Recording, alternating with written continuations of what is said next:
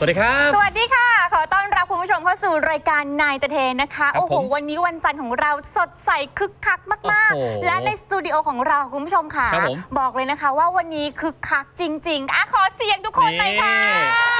อบอุ่นมากอบอุ่นอบๆอุ่นนี่เป็นผู้โชคดีนะฮะ9ท่านที่เข้ามาอยู่ใน fan zone ของเราในใช่รายการไนน์เอ็นเตอร์เทนนะครับ ที่ค่ะร่วมสนุกผ่านทางแอปพลิเคชัน แล้วก็ได้มาเจอกับพัคยูชอนวันนี้ ถูกที่กำลังจะมาร้องเพลงให้เราฟังเนี่ยนะฮะ นี่ใช่ผู้โชคดีจริงแล้วๆ friend zone อาจจะเหงาอ่าๆแต่ถ้า fan zone รับรองว่าคึกคักอบอุ่นแบบนี้แน่นอนนะฮะ นี่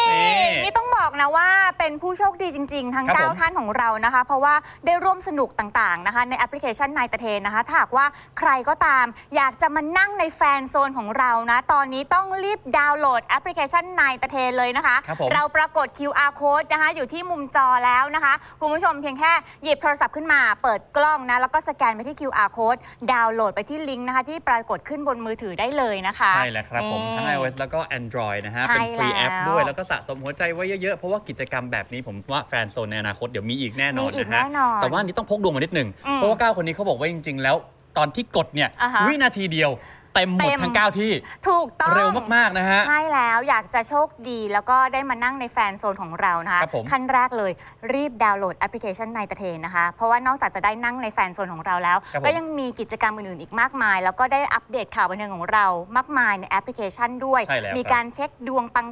อืมๆมีรีวิวหนังรีวิวซีรีส์เยอะต่ามางกๆก็ดูได้เลยนะคะใช่แล้วฮะอ้าววันนี้มาเริ่มต้นข่าวแรกของเรากันดีกว่านะครับกับน้องใบเฟิร์นพิมพ์ชนกนั่นเองค่ะคือเพิ่งผ่านงานวันเกิดอืม ครบรอบ 28 ปีใช่อายุ 28 ปีมาแป๊บหนึ่งอ้าว มีเรื่องทำให้น้องต้องเสียน้ำตา นั่นนะสิ จะเป็นเรื่องอะไรเดี๋ยวไปถามใบเฟิร์นกัน แล้วก็มีประเด็นร้อนด้วยนะ นั่นก็คือ เรื่องตอนเนี้ยก็มีดารา แล้วก็คนบันเทิงหลายคนเลยนะคะนำเอาถูกนำเอารูปเนี่ยไปโพสต์ แล้วก็พูดจาแบบว่าคอมเมนต์ค่อนข้างลามกอะลามกหยาบแล้วก็หยาบคายอืมอะใบเฟิร์นก็เป็นหนึ่งในนั้นเหมือนกันนะคะ เดี๋ยวไปถามน้องดีกว่านะว่าครับจะจัดการยังไงกับเรื่องนี้จะฟ้องหรือเปล่าอืม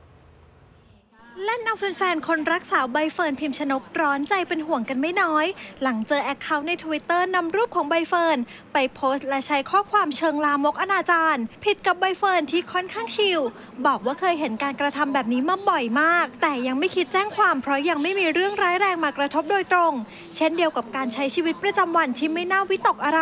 เพราะมีแฟนคลับและผู้จัดการคอยดูแลอยู่ไม่ห่างค่ะคนเข้าใจว่ามันคงเป็นภาวะของแต่ละคนที่มันแบบ ถ้าเลือกได้เขาอาจจะไม่ได้อยากเป็นแบบนั้นเหมือนกันก็ได้อะไรอย่างเงี้ยค่ะก็คนไม่ค่อยได้ดูหรอกค่ะส่วนใหญ่ก็จะมีเพื่อนๆส่งมาอะไรเงี้ยนานๆถ้าเปิดเข้าไปทีก็จะได้เห็นทีอะไรอย่างเงี้ยไปไล่จัดการทุกคงก็คงแบบแก้ปัญหาไม่ได้ขนาดนั้น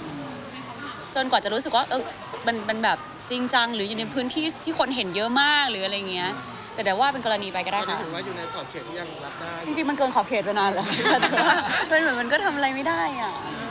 ส่วนวันเกิดอายุครบ 28 ปีเมื่อวันที่ 30 กันยายนที่ผ่านมา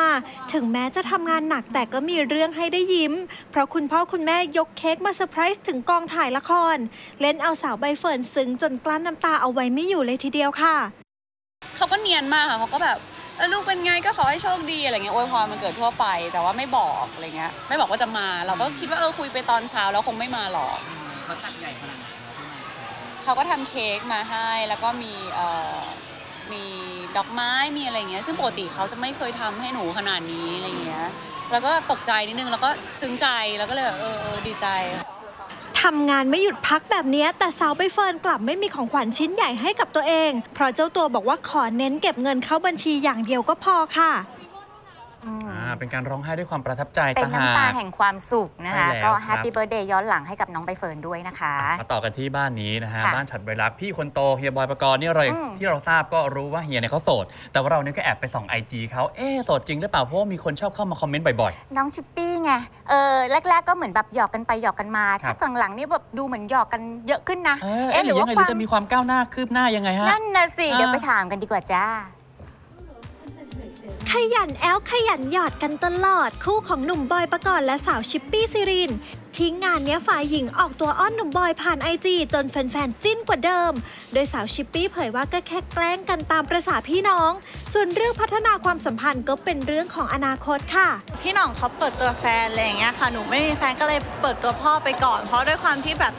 พี่บอยเขามีความแบบเป็นพี่ใหญ่มีความแบบ นุ่งกระเตือนนี่ก็ว่าจะมีมีคล้าย ๆ แบบอ่าเหมือนพ่ออะไรอย่างเงี้ยหนูก็เลยแกล้งเขา เอาจริง ๆ แบบหนูก็เหมือนจะเป็นคนขี้แซวเป็นคนแบบปากดีอะไรอย่างเงี้ยแต่จริง ๆ แล้วเราชิลกับทุกอย่างเพราะเราแบบกล้าเล่นด้วยเนี่ยเราก็เลยไม่ได้คิดอะไรมากพี่บอยเหรอเอาจริง ๆ ก็ไม่ไม่ใช่สเปคนะคะ แต่ว่าจริง ๆ ไม่ได้มีสเปคอะไรแบบนั้น ถ้าอยู่ด้วยแล้วแบบ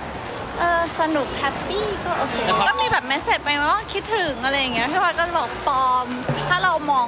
ตัวเองเป็นแบบ คนอื่นที่ไม่ใช่ตัวเอง เราก็มองว่าเออก็น่ารักดี แต่ด้วยความที่เราเป็นตัวเองเราก็มันไม่ได้มีโมเมนต์ที่แบบเออเขาจีบเราหรือเราจีบเขาเราแค่แบบเออเล่นๆแซวๆไปอย่างนั้นแหละตามภาษาคนโสดอะส่วนเรื่องที่มีคนคอมเมนต์รูปร่างว่าอ้วนนั้นชิปปี้ไม่โกรธเลยสักนิดเพอรู้ตัวดีว่าตอนนี้มีน้ำมีนวลโดยมีผลมาจากการทานยาโรคซึมเศร้า และตนก็กำลังลดน้ำหนักเพื่องานละครอยู่ด้วยค่ะ พูดตรงๆเลยนะ หนูก็ยังแบบ โอ้ my god แบบนี้เลยอะแม่บ้านยังบอกว่าชิปทาชิปเหมือน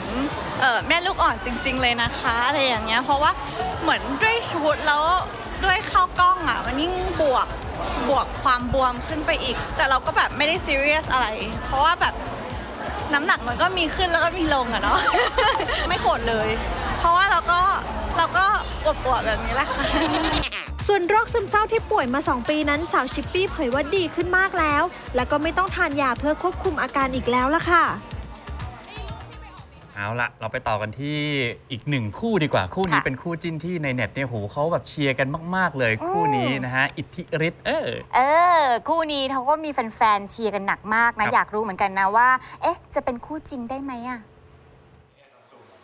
ถูกดันจากทีมอิทธิฤทธิ์ให้เปลี่ยนจากคู่จิ้นเป็นคู่จริงมาพักใหญ่ แต่พอมีโอกาสได้เจ่อไมค์ถามฝ่ายชายก๊อตอิทธิพัฒน์เพื่อนชายที่สนิทสนิทที่สุดของนางเอกหน้านิ่งริชชี่อรเนตเจ้าตัวก็ขอกักไม่บอกสถานะให้ชัดเจนสักกะที ซึ่งยอมรับว่าที่ผ่านมามีช่วงเวลาที่ทำให้ความสัมพันธ์ระหว่างเจ้าตัวกับสาวริชชี่สนิทกันมากขึ้น แต่ก็ยังไม่กล้าฟันธงเรียกคนรู้ใจค่ะ เราก็ดีใจที่ทุกคนอาชอบแล้วก็อ่าเขาเรียกว่าอะไรลุ้นคู่เราอะไรอย่างเงี้ยครับผมแต่ว่าทุกอย่างมันก็ตอบเหมือนดาราอีกแล้วอะไปเรื่อยๆแล้วกันคือคือมันก็สักพักแล้วคนก็อาจจะคิดว่าแบบเราจะคุยกันว่ามันจะจบแค่เพื่อน หรือว่าจะมีโอกาสพัฒนาความสัมพันธ์ไปมากกว่านี้แล้วอะไรอย่างเงี้ยหรอก็ต้องรอดูครับต้องรอดูรอดูต่อไป ก็ยังเป็นเพื่อนสนิทกันอยู่ครับ ขณะที่อาการของคุณพ่อที่กลับมารักษาตัวอยู่ที่บ้านได้พักใหญ่หลังมีอาการช็อกและหัวใจหยุดเต้น กลางโรงภาพยนตร์เมื่อช่วงเดือนมีนาคมปีที่แล้ว หนุ่มก๊อตเผยว่าอาการยังทรงตัวไม่ดีขึ้นหรือแย่ลง และก็ไม่มีอาการติดเชื้อหรือภาวะแทรกซ้อนใด ๆ ด้วยค่ะ คือเราก็เหมือนแบบเริ่มปรับตัวได้มากขึ้นเพราะมันระยะเวลามันก็เป็นปีแล้วเราสามารถรู้กรอบค่าใช้จ่ายเลยนะว่าต่อเดือนเท่าไหร่ใช่ทำรัฐใช่ก็จะรู้ว่าอะเดือนหนึ่งจะประมาณนี้นะเซตมาเซตตัวเองว่าเออเราเขาเรียกอะไรมีคนข้างหลังเยอะอะไรแบบเนี้ยครับก็คงต้องดูแลอย่างเต็มที่ส่วนเรื่องความแซ่บของหุ่นที่ช่วงเนี้ยใครเห็นเป็นต้องสู้ตาก เจ้าตัวเผยว่าอยู่ในช่วงเร่งฟิตหุ่นเพื่องานละครที่กำลังถ่ายทำอยู่ค่ะ นี่อะ เป็นกำลังใจให้เรื่องคุณพ่อใช่ด้วยนะฮะ แล้วค่ะ ส่วนตอนนี้เราคึกคักกันหน่อยดีกว่านะครัคะ บผม เปิดซอยเมาส์มอยนะคะ เรามีเทศกาลดนตรีฤดูหนาวค่ะ Season of Love Song ครั้งที่ 11 มาฝากกันด้วยใช่ค่ะแล้วฮะแล้วก็ช่วงหน้าห้ามพลาดไปไหนโดยเด็ดขาดเลยนะฮะ พัคยูชอนจะมาเจอกับพวกเราทุกคนในรายการ Nine Entertain ครับ สักครู่เดียวนะจ๊ะ เย้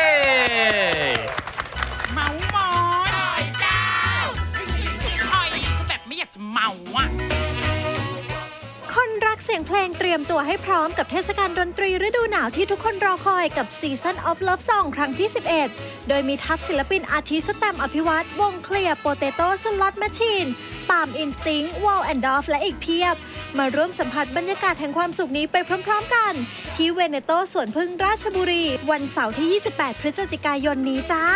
รักนะจุ๊บจุ๊บ